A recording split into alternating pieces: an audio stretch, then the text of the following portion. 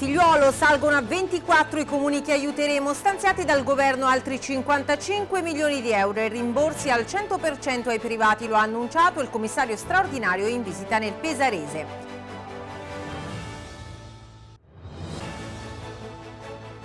Aria di rimpasto nella giunta Acquaroli con due nuovi assessori pronti a Ciarri e Lucentini in quota Lega, ma resta decisivo il confronto tra il governatore e la coordinatrice del Carroccio Giorgia Latini. Claudia Gerini e la sua passione per la pasta, l'attrice romana madrina della Casa del Gusto di Conad Adriatico, dodicesima edizione della Kermesse con oltre 200 produttori.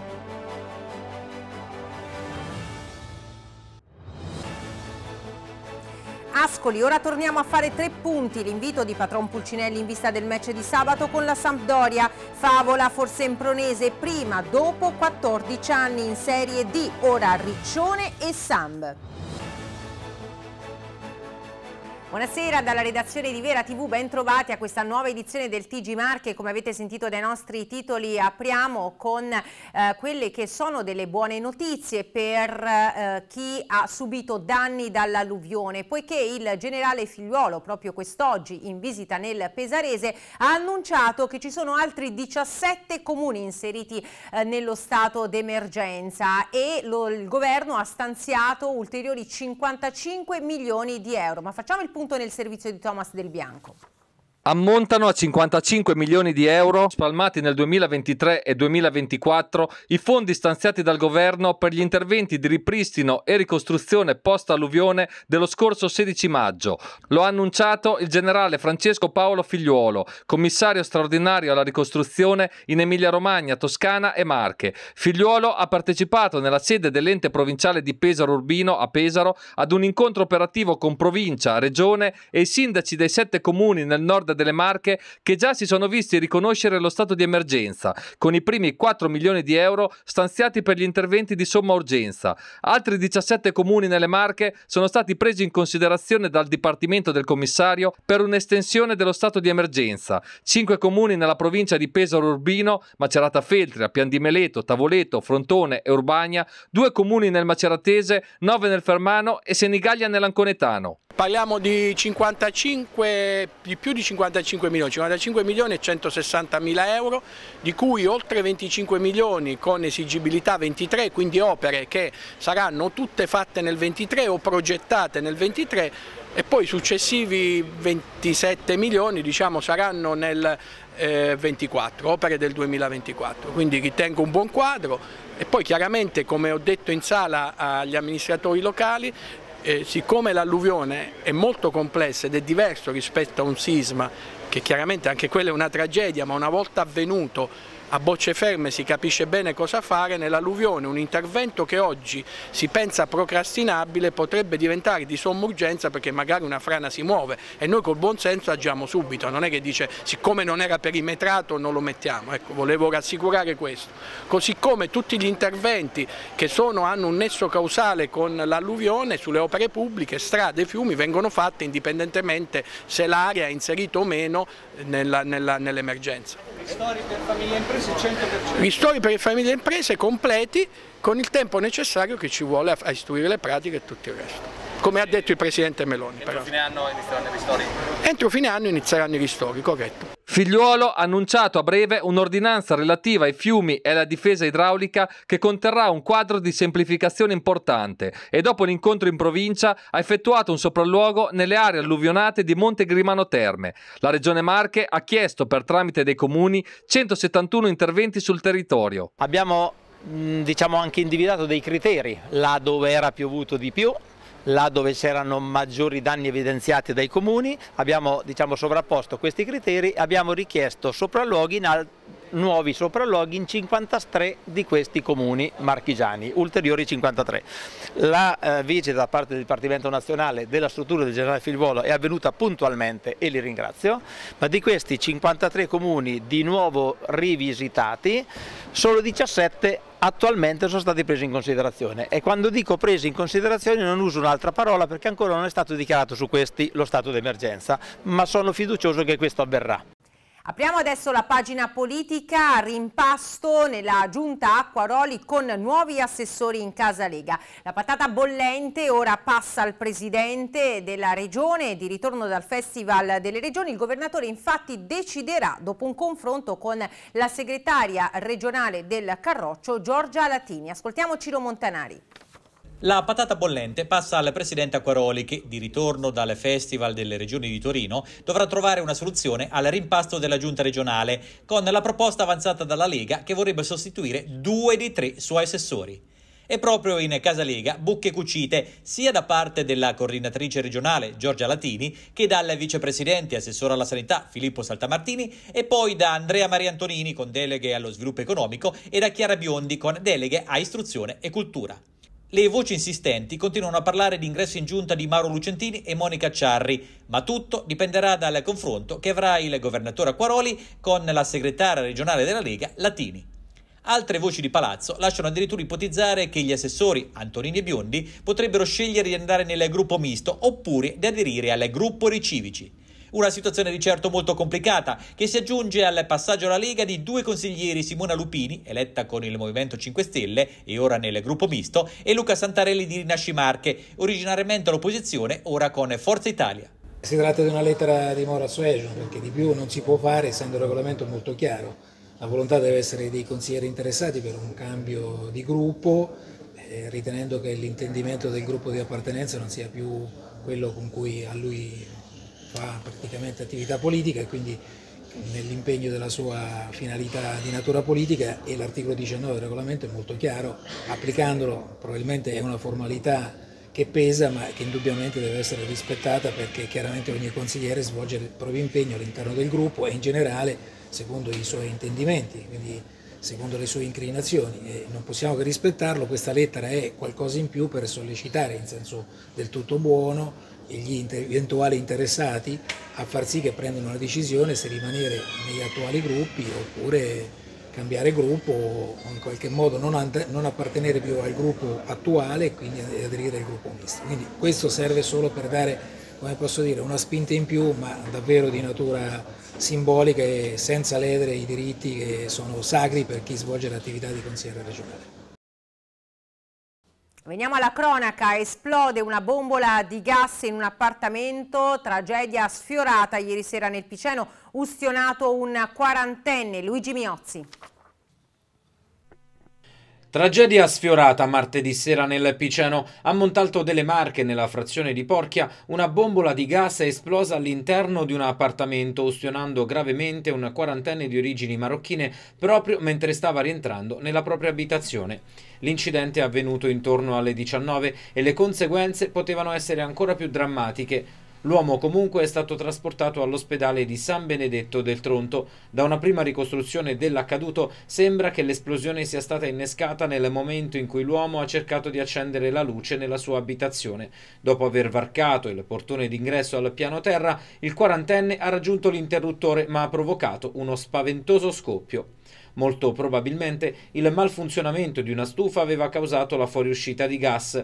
La deflagrazione ha provocato un violento spostamento d'aria che ha divelto gli infissi delle finestre e il portone d'ingresso. L'uomo è stato investito dalle fiamme e ha riportato ustioni in varie parti del corpo. Immediatamente sono scattati i soccorsi e sul posto è giunta un'ambulanza del 118 con personale medico che ha fornito le prime cure al ferito. Le sue condizioni sono gravi, ma al momento non sembrerebbe essere in pericolo di vita, sconvolti i residenti del paese. Sì, ho sentito un rumore strano, dico, ma che c***o è successo? Infatti dopo è uscita mia moglie, che io cammino male con la gamba, ho un problema al ginocchio.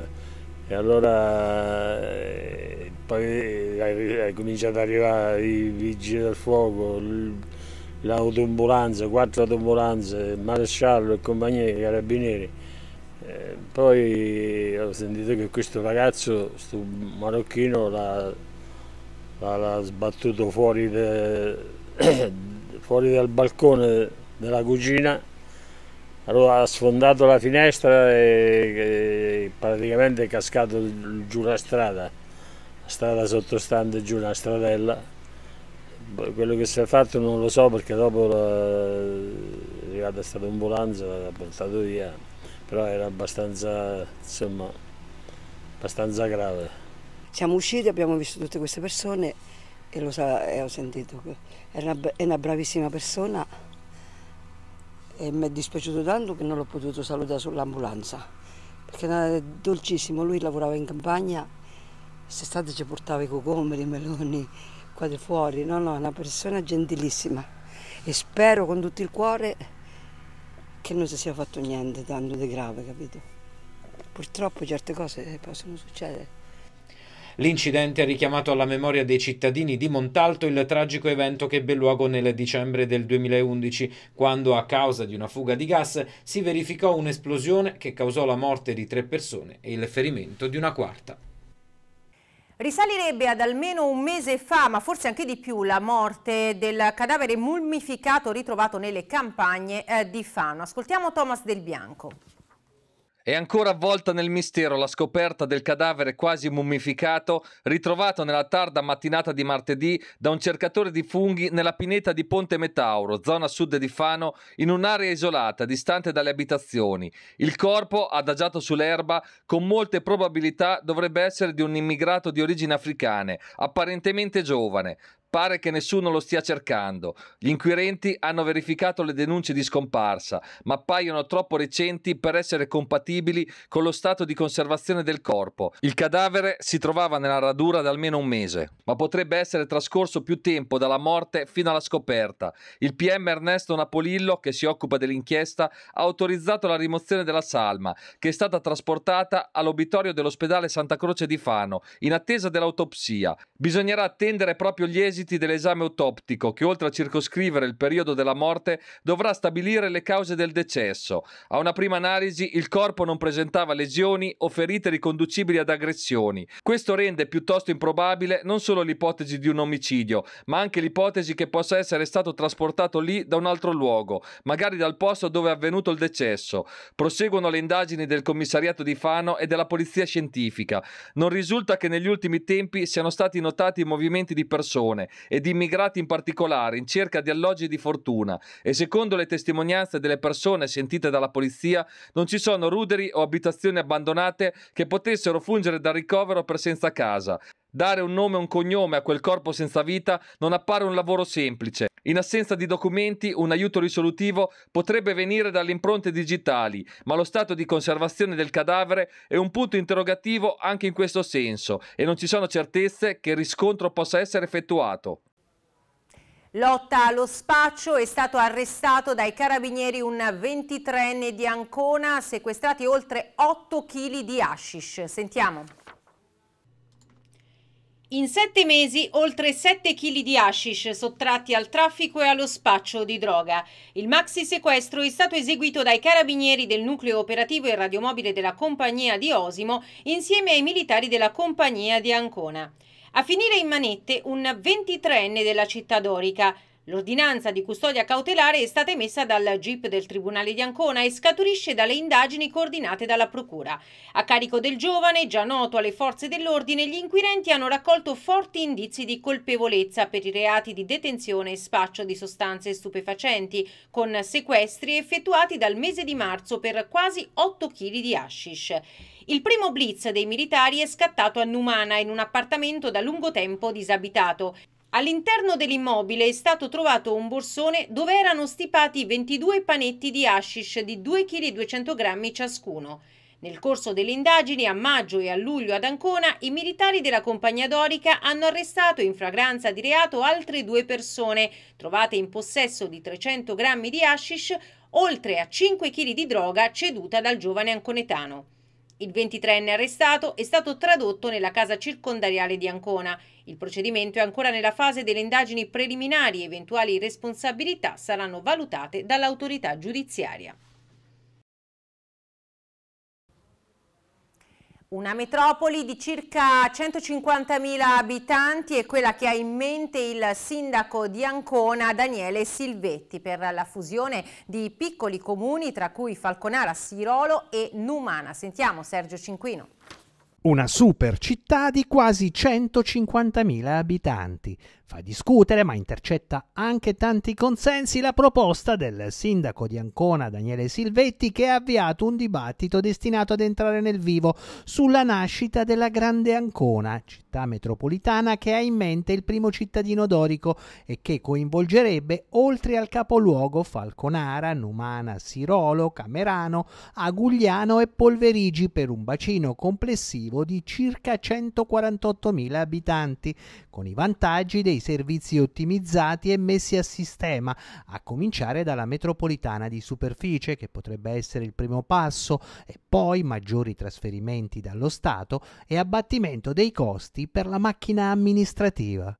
La Grande Ancona si struttura nell'individuazione di alcuni obiettivi, che sono quelli della competitività del territorio dal punto di vista economico eh, e soprattutto nell'efficienza dei servizi. Eh, ci sono delle infrastrutture per noi che sono imprescindibili, la metropolitana di superficie, quella che mette in collegamento Falconara Ancona e la Riviera del Conero e quelli che sono ovviamente gli aspetti legati allo sviluppo ad esempio del comparto del turismo avere una cartellonistica unica, avere la possibilità di collegarsi tutti al brand più famoso, che è quello del Conero, e quello del rilancio di Ancona Nord, cioè dalla parte relativa a Falconara, quella che necessita magari di alcuni accorgimenti dal punto di vista infrastrutturale eh, e poi lo sviluppo ovviamente della parte portuale che è una parte comune con la parte di Falconara, mi riferisco a lungomare nord, a quelli che sono chiaramente i completamenti delle infrastrutture per uscita dal porto. Un progetto sulle orme di quello già avviato dalla vicina Pescara e che porterebbe con sé anche una maggiore attrattività della città metropolitana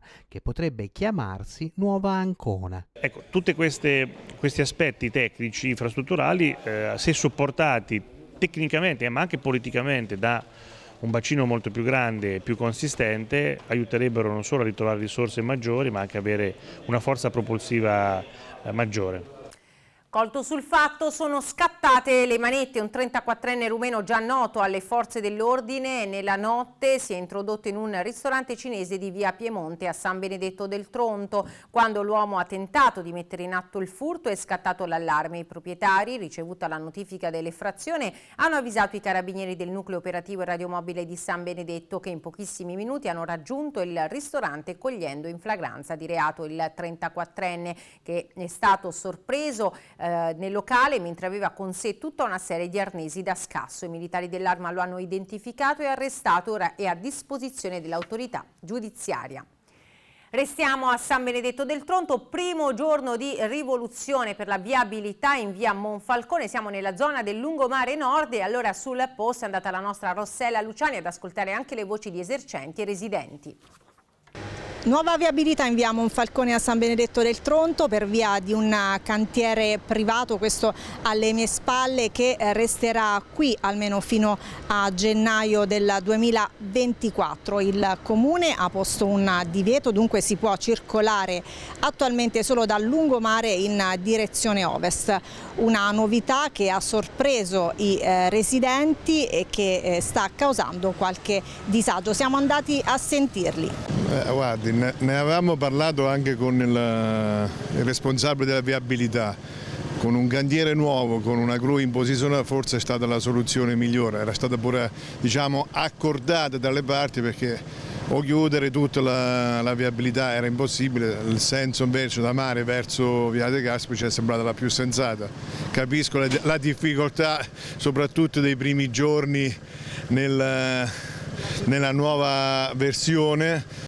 In pochi minuti diverse auto hanno imboccato la via Contromano, nonostante i due divieti e la grossa scritta stop a terra, ma si spera che con il passare dei giorni gli automobilisti ci facciano l'abitudine. Viene inoltre stabilita l'interruzione al transito pedonale in via Monfalcone lato sud nel tratto di marciapiede antistante il cantiere e anche in quel caso i pedoni dovrebbero camminare in quello opposto e non in mezzo alla strada. Alla fine è soltanto una questione di abitudine, ecco. non, è, non vedo grossi cambiamenti, sinceramente, anzi, forse avevano guardato anche un po' più, un po' più gli stop, no? No, no, però credo che per il momento va bene, dai. A me non interessa, all'età mia non interessa più niente, solo che per l'estate già è un incrocio pazzesco adesso, perché quelli che vengono di su devono dare la precedenza a quelli che vengono di giù quindi è un ingorgo, vabbè comunque stanno fabbricando e chi comanda fa legge. Voi che lavorate qui, eh, quali sono un po' i commenti? Beh, effettivamente è un po' un disagio.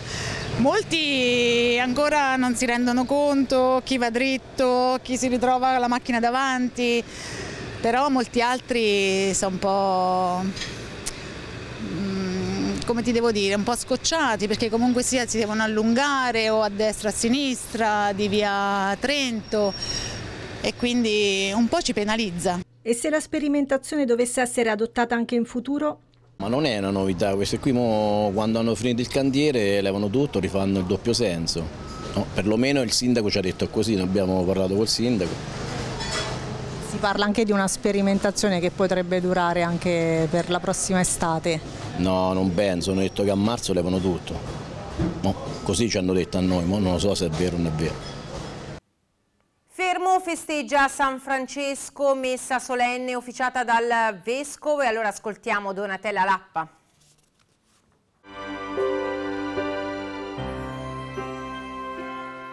«4 ottobre, festa di San Francesco d'Assisi, patrono d'Italia, che a Fermo, dove c'è il tempio dedicato al santo, si celebra in maniera solenne. La chiesa di San Francesco, situata alla fine di via Perpenti, rappresenta uno dei principali monumenti gotici delle Marche che con la sua abside poligonale, caratterizzata da vetrate istoriate, accoglie a Fermo i visitatori che arrivano dalla costa. Secondo luogo di culto più grande dopo il Duomo, San Francesco è stata profondamente ferita dal sisma nell'ottobre 2016 e seppur restaurata, ne porta ancora segni visibili nelle colonne ingabbiate. Il silenzio e il vuoto della mattina, interrotti solo dalla visita di qualche fedele, alle 18 hanno lasciato il posto alla solenne celebrazione officiata dal vescovo Rocco Pennacchio. Cosa si festeggia oggi in particolare? Beh, certamente la ricorrenza della sua morte. Certamente ricorrendo la sua morte si ricorda tutta la sua vita, la sua santità, il suo amore a Dio, il suo amore ai poveri, Chiesa in modo particolare ha amato e che si è sentito chiamato a ricostruirla. Una ricostruzione della quale pensa ci sia bisogno anche oggi, in questo momento difficile, storicamente difficile? E certamente è la nostra vocazione di cristiani, di credenti, di sacerdoti in modo particolare, di stare dentro la Chiesa, dentro la comunità cristiana, per ridare vigore, per ridare fede, per ridare grinda a vantaggio ecco, dell'umanità intera. La celebrazione della festa di oggi è stata preceduta da tre giorni di preparazione in collaborazione con la comunità dei frati cappuccini di Fermo, culminata con la liturgia del transito di martedì 3 ottobre, durante la quale è stata impartita una speciale benedizione a tutti i giovani presenti.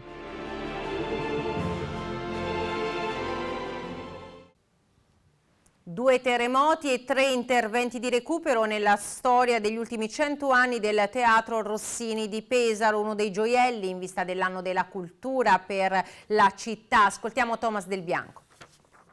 Il 30 ottobre 1930 un terremoto di magnitudo 6.0 ferì profondamente il Teatro Rossini di Pesaro. Quattro anni più tardi, dopo i lavori di ristrutturazione, la riapertura.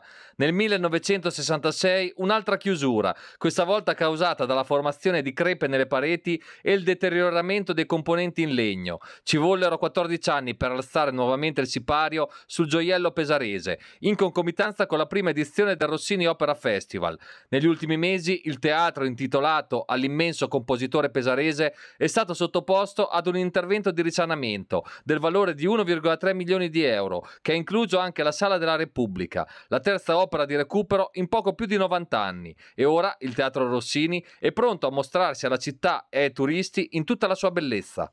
Il teatro è pronto, in tempo, con un po' di anticipo per l'anno della Capitale della Cultura. Sì, per la Capitale della Cultura, in realtà in tempissimo per la stagione di prosa che inizierà il 12 ottobre, ma ci saranno alcuni momenti prima lavori importanti che anche in corso hanno avuto anche dei problemi, il nubifragio, il terremoto.